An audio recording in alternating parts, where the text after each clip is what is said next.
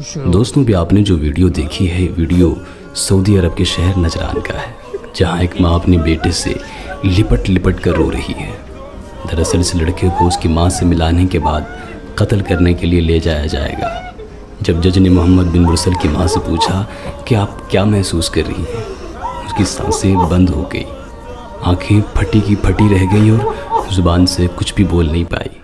आप अंदाज़ा लगा सकते हैं कि उस माँ की क्या हालत होगी, उसके बच्चे की, और उसके घर वालों की, जो कि कुछ ही देर बाद अब कत्ल होने के लिए जा रहा है। ये वाक़ सऊदी अरब का है और इस वक्त बहुत ट्रेंड कर रहा है। आपने भी शायद इससे पहले कोई ऐसी वीडियो देखी होगी जिसके अंदर एक लड़के को कत्ल किया जा रहा है।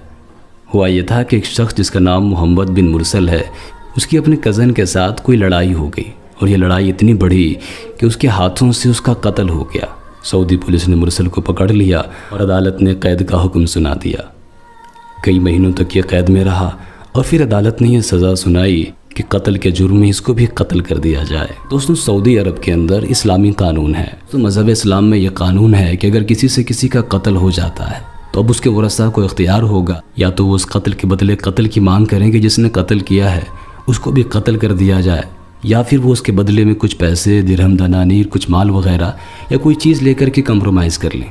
या फिर ये है कि वो अल्लाह ताला की खुशी के लिए बिना कुछ लिए ही उसको माफ़ कर दें। मज़हब इस्लाम में माफ़ी को भी बड़ी अहमियत है। शायद इसी उम्मीद पर मोहम्मद बिन मुरसल के ख़ानदान वालों में से जवान, बच्चे, बूढ़े, सब लोगों ने ये फ़ैसला किया कि हम जा कर के मकतूल के घर वालों से माफ़ी मांगेंगे और हम उनसे दरख्वास्त करेंगे कि वो हमसे कोई चीज़ लेकर के इन्हें माफ़ कर दे। या फिर अगर उनकी कोई डिमांड है तो जो भी डिमांड होगी हम उसको पूरी करेंगे। लेकिन हम ये चाहेंगे कि मोहम्मद बिन मुरसल को छोड़ दिया जाए। अब दोस्तों, आप यकीन करें, सऊदी अरब की तारीख़ में शायद ऐसी माफ़ी कहीं नहीं देखी गई होगी। बच्चे, बूढ़े जवान सब मिल करके उन्होंने अपने दस्तारें उतार दी और अपने दस्तार उतार करके उस मकतूल के कबीले वालों के कदमों में डाल दिया कि तुम लोग इसको माफ़ कर दो। जब इससे भी नहीं हुआ तो उन लोगों ने अपने आप को जानवर साबित करने के लिए अपने आप को खूंटे से बाँध दिया और कहा कि हम तुम्हारे सामने जानवर बन करके तुमसे माफ़ी मांगते हैं, हमें माफ़ कर दो।